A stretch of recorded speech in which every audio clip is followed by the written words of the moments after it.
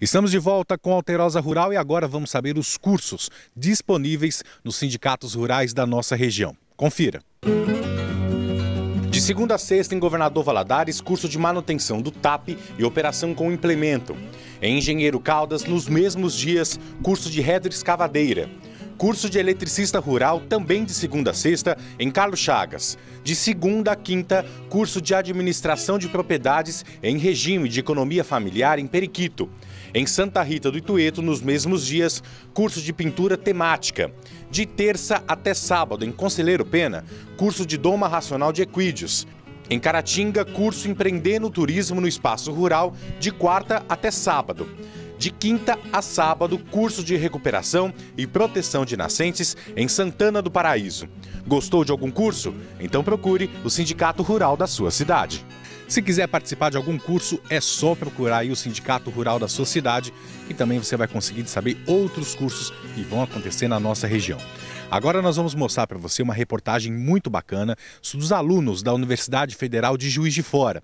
Eles criaram um equipamento capaz de detectar adulteração no leite. Confira na reportagem.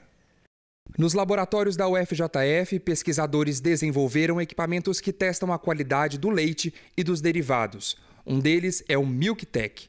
Ele chama atenção por ser bem menor que os aparelhos utilizados nos laticínios, podendo ser transportado e manuseado de forma simples. Os resultados saem em poucos segundos. Ele consegue identificar várias fraudes. A primeira delas, a mais importante, é a adição de água e quantificar. Então, ele te informa a quantidade de água que foi adicionada no leite, se for o caso.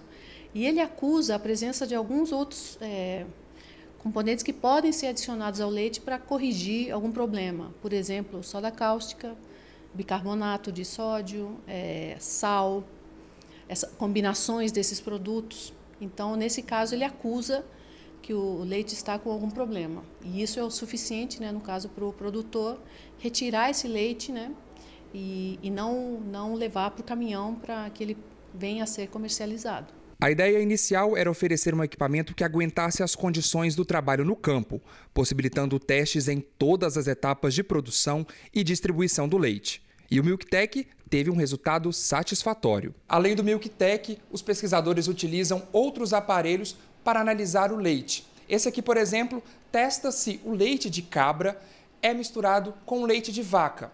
De acordo com os pesquisadores, essa adulteração representa um risco para as pessoas que são intolerantes ao leite de vaca. Esse eu acho que é o maior problema, porque a pessoa que tem alergia tem vários graus de alergia, né? Tem pessoas que têm problemas sérios e com qualquer pequena quantidade de, de leite de vaca ela vai ter uma reação alérgica muito forte. Então é um risco para o consumidor.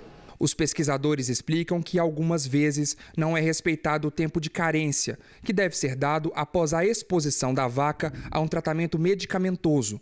Este outro equipamento consegue identificar se o leite foi contaminado pelos remédios aplicados no animal. Nós colocamos aqui no, no microscópio né, e jogamos um laser, um laser em cima desse, dessa amostra. Então precisa ser só uma gotinha de leite, né? Ou uma gotinha de leite em pó, ou um pedacinho de queijo.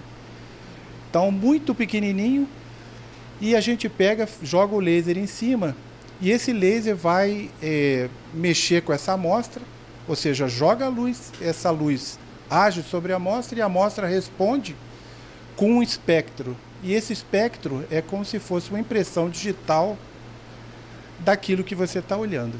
Já este equipamento verifica se há outros tipos de adulteração no leite e também nos derivados. A gente tem testado queijos, tipos diferentes de queijo para testar a qualidade, por exemplo, se o queijo prato é de fato um queijo prato, se o queijo parmesão também atende às características que ele deve ter.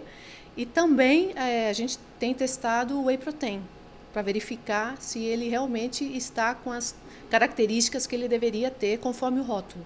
Os produtos testados nos laboratórios da UFJF são produzidos em laticínios e propriedades da região da Zona da Mata. Agora que a patente foi aprovada, a nossa ideia é difundir né, o, o aparelho para que os laticínios tenham acesso e a gente espera que o caminhoneiro, né, o que faz a coleta do caminhão, ele possa utilizar o equipamento para analisar o leite e decidir se aquele leite vai ser coletado no caminhão ou não. Então, a nossa ideia agora é realmente entrar na fase de, de comercializar esse produto.